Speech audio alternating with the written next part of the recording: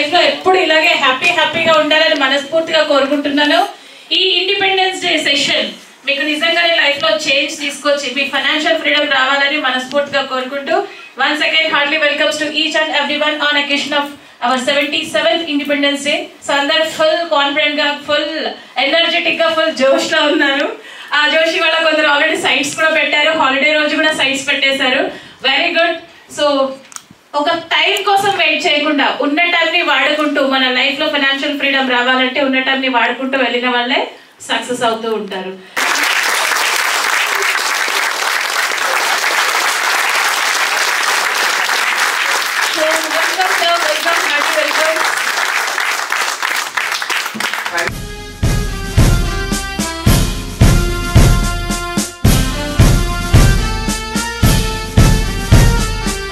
Starting dreams అనే ఒక subject మనం కంప్లీట్ చేస్తున్నాం వాళ్ళని డ్రీమ్స్ మీరు ఇప్పుడు మీకు నచ్చిన గోల్ మీరు రాసుకోండి సార్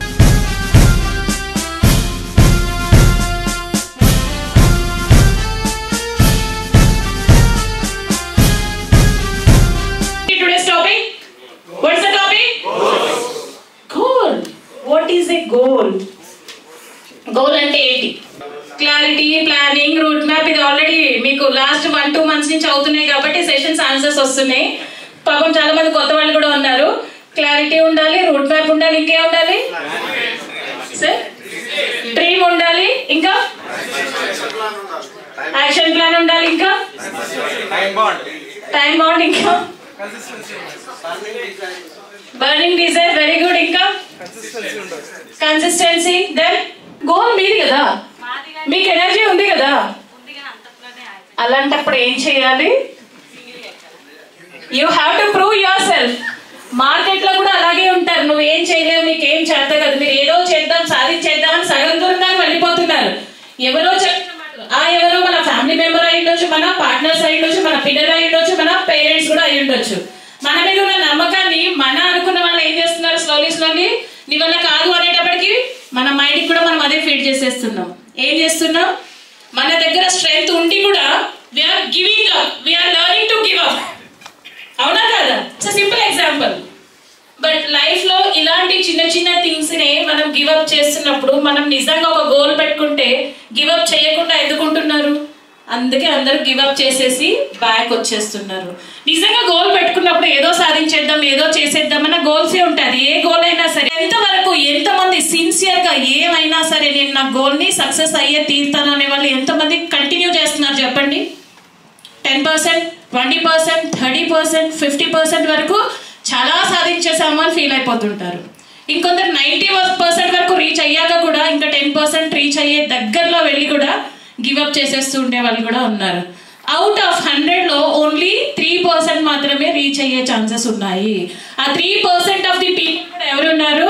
వాళ్ళకి ఎలాంటి థింగ్స్ ఉన్నా ఎలాంటి ఆబ్స్టికల్స్ ఉన్నా ఏది ఏమైనా వాళ్ళకి ఓన్లీ గోల్ మాత్రమే కనిపిస్తుంది. లక్ష్యం దిశగా పయనిస్తున్నారు కాబట్టి those people are becoming as successful people మిగతా వాళ్ళందరూ యాజ్ ఏ చూసేవాళ్ళు ప్రేక్షకులుగా మాత్రమే మారిపోతున్నాం. అందరికీ గోల్స్ ఉంటున్నాయి. బట్ సాధించిన వాళ్ళని మనం నెత్తి మీద పెట్టుకుంటున్నాం. మనం కూడా ఆ లిస్ట్లో ఎందుకు ఉండకూడదని ఎప్పుడు ఆలోచించలేదు. ఎందుకు అంటే we have so many reasons give up చేయడానికి వంద రీజన్స్ చెప్తున్నారు. బట్ సక్సెస్ అయిన వాళ్ళని అడగండి. నువ్వు ఎందుకు సక్సెస్ అయ్యావంటే చెప్తాడా? ఏం చెప్తారు? Because he or she already have clear vision how to reach their destination వాళ్ళు అనుకున్న గోల్కి ఎలా వెళ్ళాలో వాళ్ళకు క్లియర్ విషన్ ఉంది. ఎలాంటి హర్డిల్స్ వస్తాయో వాళ్ళకి ఆల్రెడీ తెలుసు. బట్ వాటన్నిటిని దేన్ని పట్టించుకోవట్లేదు. Just they are concentrating only on their goal until they reach అందుకోసమే వాళ్ళు గివ్ అప్ చేయట్లేదు కాబట్టి ఈరోజు వాళ్ళందరి గురించి మనం మాట్లాడుకుంటూ ఉన్నాము. మనం జస్ట్ ప్రేక్షకుల్లాగా ఉంటూ ఇంకొకరి కోసం ప్రైజ్ చేస్తూ ఉంటున్నాం. బట్ ఆ ప్రైజ్ చేయించుకునే లిస్ట్లో మనం ఎందుకు ఉండట్లేదంటే దీస్ ఆర్ ద రీజన్స్ నిజంగానే మీ దగ్గర స్కిల్స్ లేదా ఎఫర్ట్ లేదా అంటే నో. లేవంటే అసలు గోల్ పెట్టుకోరు కదా మీరు. పెట్టుకున్నారంటే ఏంటి? అది మీరు చేయగలరని మిమ్మల్ని మీరు నమ్మారు కాబట్టి అట్లీస్ట్ మీరు స్టార్ట్ చేశారు. దగ్గరికి వెళ్ళాం కదా? ఇవన్నీ ఏంటి?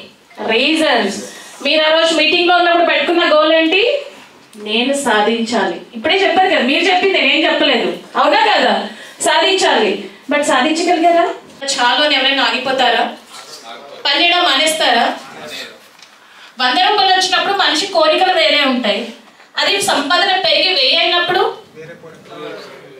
మరి వంద వచ్చినప్పుడు హ్యాపీగానే ఉన్నాడు కదా వెయ్యి వచ్చినప్పుడు ఆపేయచ్చు కదా. ఆ వెయ్యి లక్ష అయినప్పుడు? లక్షల కోట్లు అయినప్పుడు? సేమ్ మనిషి సేమ్ సిచ్యువేషన్ ఇన్కమ్ పెరుగుతూ ఉంది కదా. But why difference because after all we are all human beings మనకి ఎండ్లెస్ థాట్స్ వస్తూనే ఉంటాయి కదా. అవునంటారా కాదంటారా? ఎవరైనా నాకు ఇది చాలు ఇంతే చాలు అంటారా? గోల్స్ ఉన్నాయి పర్సనల్ గోల్స్ ఉన్నాయి ఫ్యామిలీ గోల్స్ ఉన్నాయి సోషల్ గోల్స్ ఉన్నాయి. ఆ గోల్ ఎలా ఉండాలంటే మళ్ళీ పక్క వాళ్ళు వచ్చి డిస్టర్బ్ చేస్తే డిస్టర్బ్ కాకూడదు. మధ్యలో వదిలేసేలాగా ఉండకూడదు. గివ్ అప్ యాటిట్యూడ్ అస్సలే ఉండకూడదు. అలాగే గోల్ సెకండ్ స్మార్ట్లో ఎస్ స్పెసిఫిక్గా ఉండ ఉంటే నెక్స్ట్ ఏం ఉండాలి M is nothing but your measurable measurable is nothing but మీరు గోల్ పెట్టుకుంటే అయిపోదు. అది మనం దాన్ని ఎలా సక్సెస్ చేస్తున్నాం? దాన్ని మెజర్ చేయగలుగుతున్నామా లేదా అనేది కూడా చాలా చాలా ఇంపార్టెంట్ పాలసీస్ ఉంటాయి కాబట్టి how to go in that way మీరు ఒకవేళ ఆ పాత్ వేలో ఉంటే మీ కెరీర్ అలా వెళ్ళాలనుకున్నప్పుడు మీ గోల్ డిఫరెంట్గా సెట్ చేసుకొని వెళ్ళాలి. అలాగే మీరు ఇక్కడ ఈ పాత్వేలో ఉంటే ఇందులో ఎలా సక్సెస్ కావాలనడానికి డిఫరెంట్ వేలో మీ గోల్ని మీరు సెట్ చేసుకుంటూ అట్ ద సేమ్ టైం దాన్ని అచీవ్ చేసుకోగలిగినటువంటి ఆపర్చునిటీస్ని క్రియేట్ చేసుకుంటూ ఉన్నప్పుడే మీరు ఆ గోల్ సెట్టింగ్లో సక్సెస్ అవ్వగలుగుతారు.